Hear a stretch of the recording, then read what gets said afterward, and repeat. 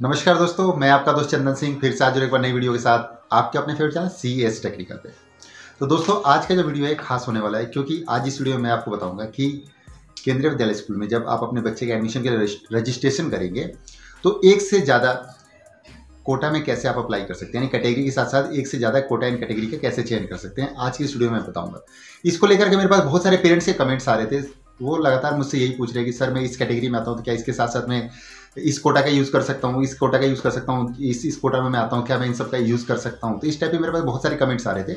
तो सोचा क्यों ना इसके ऊपर एक मैं वीडियो बना करके आप लोग साथ शेयर करूँ, क्योंकि अभी बहुत ही जल्द के अपना एडमिशन के लिए जो है नोटिफिकेशन जारी करने वाला है। तो सोचा क्यों ना आपको इसके बारे में पहले बता दूँ, ताकि आप इसके बारे में पहले से अगर आपको जानकारी रहेगी तो आप जो है रजिस्ट्रेशन का टाइम पर सही सही कैटेगरी सही सही कोटा का चयन कर पाएँगे, जिससे कि आपके बच्चे के एडमिशन के चांसेस बढ़ जाएँगे, यानी लॉटरी लिस्ट में नाम आने के चांसेस बढ़ जाएँगे। जैसा कि आपको पता होगा कि में जो केंद्रीय विद्यालय स्कूल में जो एडमिशन होते हैं, जिसमें लॉटरी लिस्ट में नाम आता है, वो प्रायोरिटी बेस पे आता है।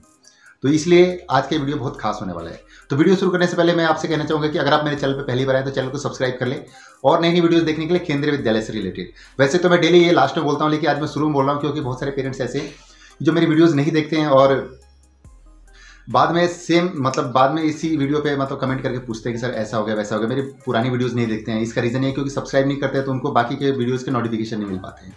तो चलिए वीडियो को शुरू करते हैं। सबसे पहले बात आती है कि रजिस्ट्रेशन के टाइम पर आपने क्या करना है? देखिए, जब आप अपने बच्चे के एडमिशन के लिए रजिस्ट्रेशन करेंगे केंद्रीय विद्यालय संगठन संगठन के ऑनलाइन पोर्टल पर तो वहाँ पर क्या है कि आपको सबसे पहले अपने बच्चे का जो है नाम ईमेल आईडी फ़ोन नंबर जो आपका होगा वो सब रजिस्टर करना होता है। उसके साथ साथ डेट ऑफ़ बर्थ भी उसमें रजिस्टर करना होता है। तो जब आप अपने बच्चे के एडमिशन के लिए केंद्रीय विद्यालय संगठन के ऑनलाइन पोर्टल पर जब रजिस्टर करेंगे, वहाँ पर बच्चे का नाम, बच्चे का डेट ऑफ़ बर्थ अगर आपका बच्चा स्पेशल चाइल्ड है तो अगर आप डीए कोटे के थ्रू अपने बच्चे के एडमिशन के लिए अप्लाई करने वाले हैं तो आप उस पर टिक करेंगे।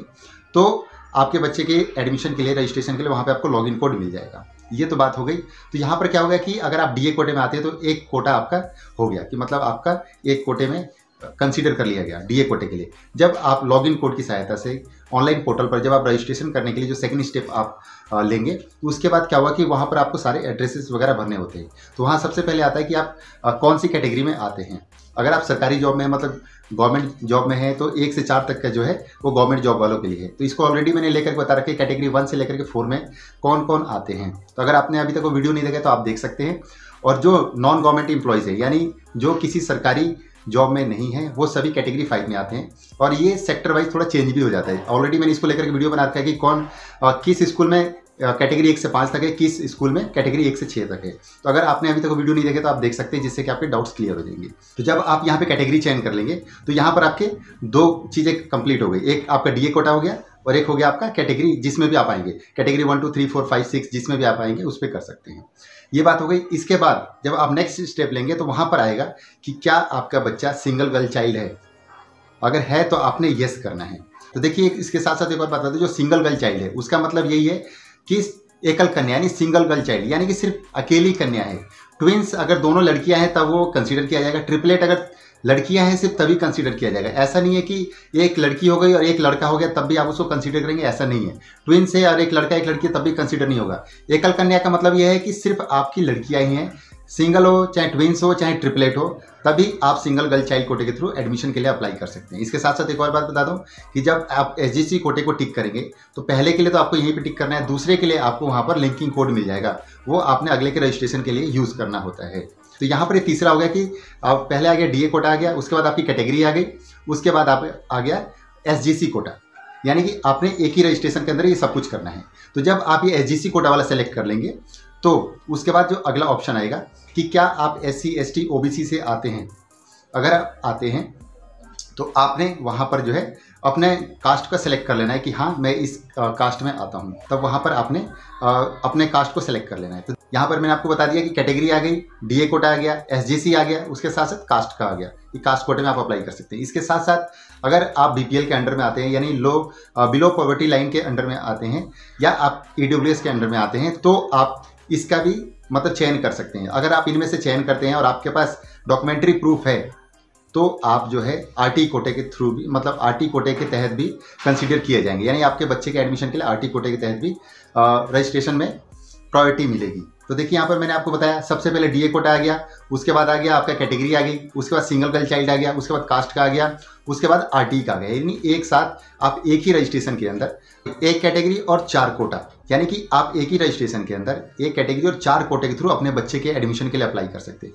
बहुत सारे पेरेंट्स का मानना है कि सिर्फ़ गवर्नमेंट जॉब वाले जो पेरेंट्स होते हैं, उन्हीं को प्रायोरिटी दी जाती है। तो देखिए, ऐसा बिल्कुल भी नहीं है। अगर आपके पास कोटाज हैं तो आपको ही प्रायोरिटी दी जाएगी। जनरल कास्ट वालों को भी प्रायोरिटी दी जाती है। तो ऐसा नहीं है कि सिर्फ़ सरकारी जॉब वालों को ही जो है प्रायोरिटी दी जाती है एडमिशन के टाइम पर। अगर मान लीजिए आपके पास एक, दो, तीन, चार कोटा हैं, जिसके थ्रू आप अपने बच्चे के एडमिशन के लिए अप्लाई कर रहे हैं तो वहाँ पे आपके बच्चे के एडमिशन के चांसेस ज़्यादा बढ़ जाते हैं, क्योंकि आपके बच्चे को प्रायोरिटी ज़्यादा मिलेगी। क्योंकि मान लीजिए डीए में भी आ गया एस में भी आ गया कास्ट कोटे के थ्रू भी आ गया, ऊपर से बीपीएल में भी आ गया तो इतने सारे जब कोटाज मिलते हैं तो वहाँ पर प्रायोरिटी जो होती है ज़्यादा हो जाती है बच्चे के एडमिशन के लिए। देखिए, इस सिंपल सी एक और बात बता दूँ आपको कि आप किसी भी कोटा किसी भी कैटेगरी के थ्रू अगर आप अपने बच्चे के एडमिशन के लिए अप्लाई करें तो ध्यान रहे कि आपके पास उन सभी कोटा और कैटेगरी के लिए आपके पास डॉक्यूमेंट्री प्रूफ हो। अगर आपके पास किसी भी कोटा और कैटेगरी के प्रूफ नहीं है और आप उसके अंदर आते हैं तो आप उस कोटे का चयन ना करें या उस कैटेगरी का चयन ना करें।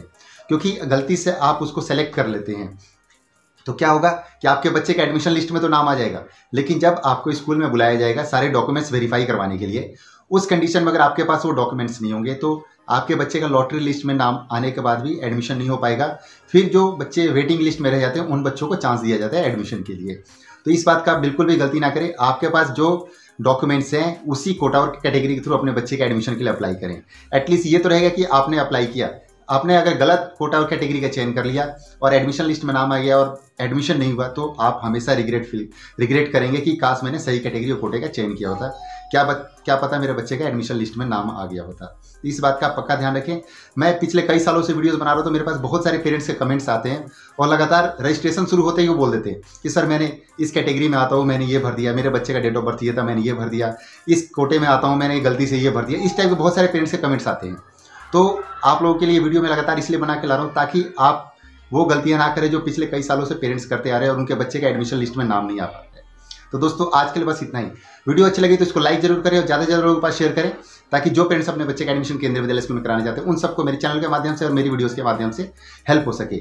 अगर आपकी कोई क्वेरी हो तो आप मुझे इंस्टाग्राम पे फॉलो कर सकते हैं। इंस्टाग्राम का जो लिंक है, मेरे वीडियो के डिस्क्रिप्शन में मिल जाएगा। मैं पूरी कोशिश करूँगा आपको रिप्लाई करूँ और इसके साथ साथ आप चाहें तो मुझे कमेंट भी कर सकते हैं। मैं पूरी कोशिश करूँगा आपको रिप्लाई देने की। जो पेरेंट्स पहली बार मेरे वीडियो देख रहे हैं तो आप मेरे चैनल को सब्सक्राइब कर सकते हैं और नई नई वीडियो देखने के लिए केंद्रीय विद्यालय से रिलेटेड तब तक के लिए थैंक यू बाय जय हिंद, जय भारत।